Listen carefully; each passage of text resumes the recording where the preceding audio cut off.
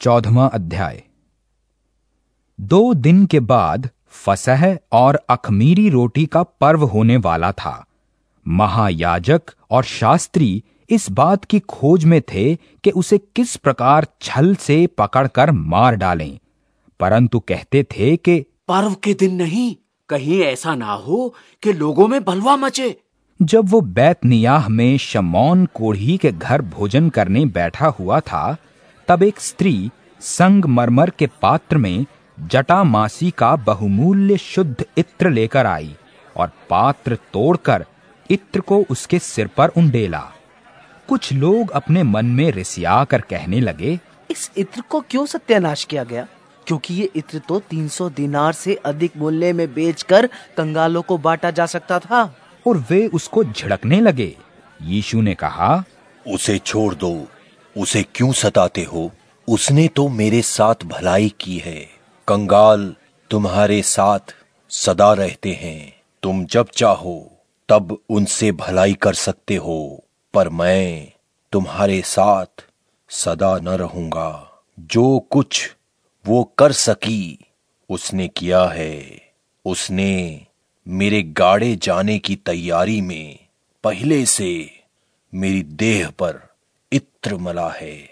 मैं तुमसे सच कहता हूँ, सारे जगत में जहाँ कहीं सुसमाचार प्रचार किया जाएगा, वहाँ उसके इस काम की चर्चा भी उसके स्मरण में की जाएगी।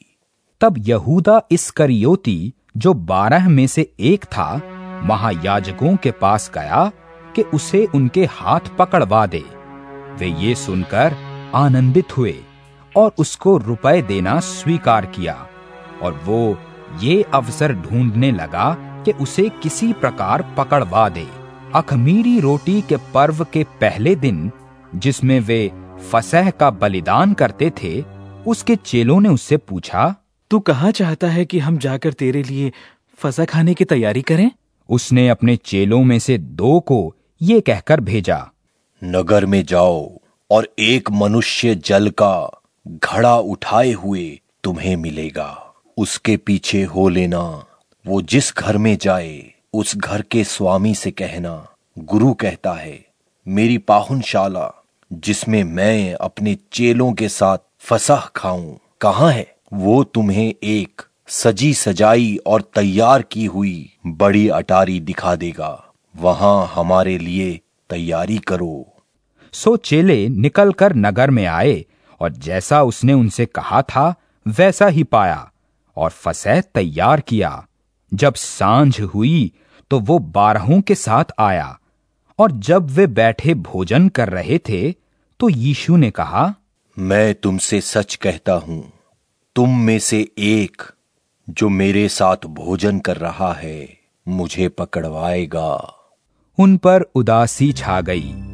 और वे एक एक करके उससे कहने लगे क्या वो मैं हूँ? उसने उनसे कहा वो बारहों में एक है जो मेरे साथ थाली में हाथ डालता है मनुष्य का पुत्र तो जैसा उसके विषय में लिखा है जाता ही है। परंतु उस मनुष्य पर हाय जिसके द्वारा मनुष्य का पुत्र पकड़वाया जाता है।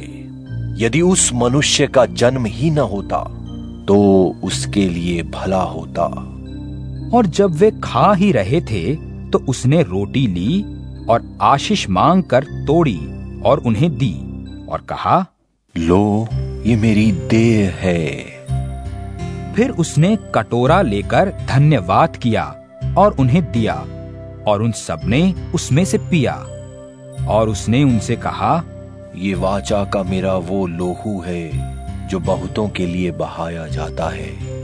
मैं तुमसे सच कहता हूँ दाख का रस उस दिन तक फिर कभी न पीऊँगा जब तक परमेश्वर के राज्य में नया न पीऊं। फिर वे भजन गाकर बाहर जैतून के पहाड़ पर गए। तब यीशु ने उनसे कहा तुम सब ठोकर खाओगे क्योंकि लिखा है मैं रखवाले को मारूँगा और भेड़ तितर बितर हो जाएँगी। परंतु मैं अपने जी उठने के बाद तुमसे पहले गलील को जाऊँगा। पतरस ने उससे कहा यदि सब ठोकर खाएँ तो खाएँ पर मैं ठोकर नहीं खाऊँगा। यीशु ने उससे कहा मैं तुझसे सच कहता हूँ आज ही इसी रात मुर्गे के दो बार बांग देने से पहले तू तीन बार मुझसे मुकर जाएगा। पर उसने और भी ज़ोर देकर कहा यदि मुझे तेरे साथ मरना भी पड़े तो भी तेरा इंकार कभी न करूँगा। इसी प्रकार और सबने भी कहा। फिर वे गत समने नाम एक जगह में आए और उसने अपने चेलों से कहा यहाँ बैठे रहो जब तक मैं प्रार्थना करूँ। और वो पतरस और याकूब और यूहन्ना को अपने साथ ले गया। और बहुत ही अधीर और व्याकुल होने लगा और उनसे कहा मेरा मन बहुत उदास है। यहाँ तक कि मैं मरने पर हूँ। तुम यहाँ ठहरो और जागते रहो। और वो थोड़ा आगे बढ़ा और भूमि पर गिरकर प्रार्थना करने लगा।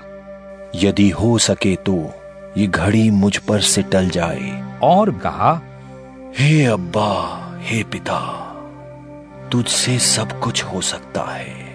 इस कटोरे को मुझसे हटा ले तो भी जैसा मैं चाहता हूँ। वैसा नहीं पर जो तू चाहता है वही हो। फिर वो आया और उन्हें सोते पाकर पत्रस से कहा हे शमोन तू सो रहा है? क्या तू एक घड़ी भी न जाग सका? जागते और प्रार्थना करते रहो। कि तुम परीक्षा में न पड़ो आत्मा तो तैयार है पर शरीर दुर्बल है। और वो फिर चला गया और वही बात कहकर प्रार्थना की और फिर आकर उन्हें सोते पाया क्योंकि उनकी आँखें नींद से भरी थीं और नहीं जानते थे कि उसे क्या उत्तर दें। तब तीसरी बार आकर उनसे कहा अब सोते रहो और विश्राम करो। बस घड़ी आ पहुँची। देखो, मनुष्य का पुत्र पापियों के हाथ पकड़वाया जाता है। उठो, चलें, देखो मेरा पकड़ने वाला निकट आ पहुँचा। वो ये कह ही रहा था कि यहूदा, जो बारहों में से था, अपने साथ महायाजकों और शास्त्रियों और पुर्नियों की ओर से एक बड़ी भीड़, तलवारें और लाठियाँ लिए हुए तुरंत आ पहुँचा। उसके पकड़वाने वाले ने उन्हें ये पता दिया था कि जिसको मैं चूमू वही है। उसे पकड़कर यतन से ले जाना। और वो आया और तुरंत उसके पास जाकर कहा है रब्बी! और उसको बहुत चूमा। तब उन्होंने हाथ बढ़ाकर उसे पकड़ लिया। उनमें से जो पास खड़े थे एक ने तलवार खींचकर महायाजक के दास पर चलाई और उसका कान उड़ा दिया। यीशु ने उनसे कहा क्या तुम डाकू जानकर मुझे पकड़ने के लिए तलवारें और लाठियाँ लेकर निकले हो? मैं तो हर दिन मंदिर में तुम्हारे साथ रहकर उपदेश दिया करता था और तब तुमने मुझे न पकड़ा। परंतु ये इसलिए हुआ है कि पवित्र शास्त्र की बातें पूरी हो। इस पर सब चेले उसे छोड़कर भाग गए। और एक जवान अपनी नंगी देह पर चादर ओढ़े हुए उसके पीछे हो लिया। लोगों ने उसे पकड़ा, पर वो चादर छोड़कर नंगा भाग गया। तब वे यीशु को महायाजक के पास ले गए और सब महायाजक और पुरनिये और शास्त्री उसके यहाँ इकट्ठे हुए। पत्रस भी दूर ही दूर से उसके पीछे पीछे महायाजक के आँगन के भीतर तक गया। और प्यादों के साथ बैठकर आग तापने लगा। महायाजक और सारी महासभा यीशु के मार डालने के लिए उसके विरोध में गवाही की खोज में थे, पर न मिली, क्योंकि बहुत तेरे उसके विरोध में झूठी गवाही दे रहे थे, पर उनकी गवाही एक सी ना थी। तब कितनों ने उठकर उस पर ये झूठी गवाही दी? हमने इसे ये कहते सुना है कि मैं इस हाथ के बनाए हुए मंदिर को ढा दूँगा और तीन दिन में दूसरा बनाऊँगा जो हाथ से ना बना हो। इस पर भी उनकी गवाही एक सी न निकली।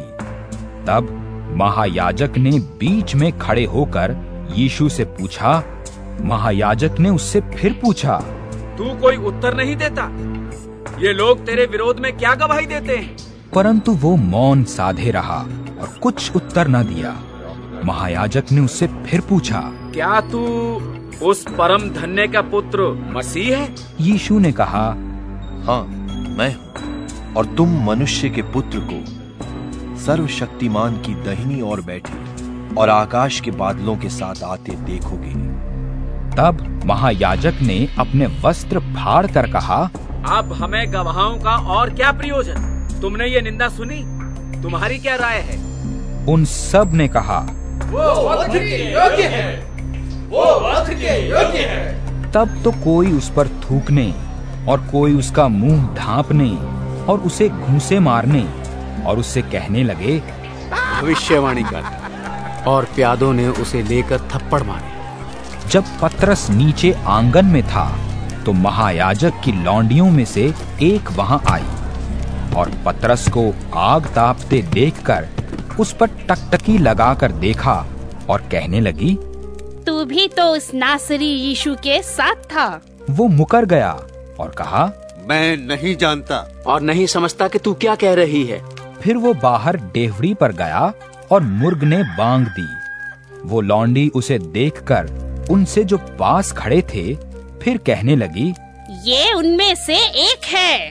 परंतु वो फिर मुकर गया और थोड़ी देर बाद उन्होंने जो पास खड़े थे फिर पत्रस से कहा निश्चय तू उनमें से एक है क्योंकि तू गलीली भी है। तब वो धिक्कार देने और शपथ खाने लगा कि उस मनुष्य को जिसकी तुम चर्चा करते हो मैं नहीं जानता। तब तुरंत दूसरी बार मुर्ग ने बांग दी। पत्रस को वो बात जो यीशु ने उससे कही थी स्मरण आई कि मुर्ग के दो बार बांग देने से पहले तू तीन बार मेरा इनकार करेगा। वो इस बात को सोचकर रोने लगा।